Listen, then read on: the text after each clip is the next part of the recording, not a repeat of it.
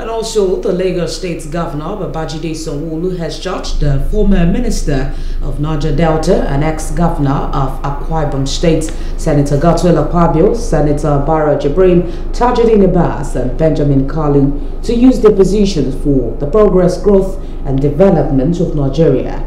Sanwo-Olu described their elections uh, as a testament of the trust and belief their colleagues have in them to steer the ship of the 10th Senate people have shown um, that we all can work together, right? An election that has been very transparent, um, that has reflected the views of all of the members elect, and they've been able to choose their leaders in, um, freely, um, justly, and equitably, right? I'm indeed proud of them.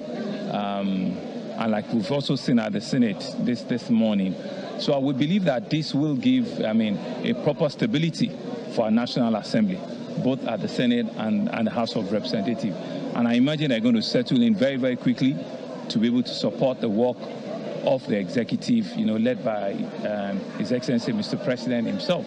And I, I, imagine that they, they understand what the responsibilities are and what Nigerians will be expecting of them.